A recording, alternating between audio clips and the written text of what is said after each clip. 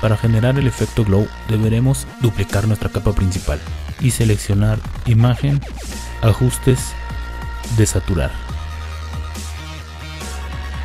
Posteriormente a la capa desaturada la ponemos en modo de fusión superponer.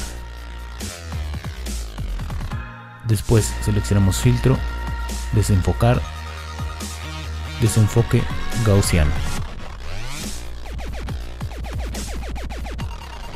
Aumentando el radio del desenfoque podremos obtener este efecto que le da dramatismo a nuestra fotografía.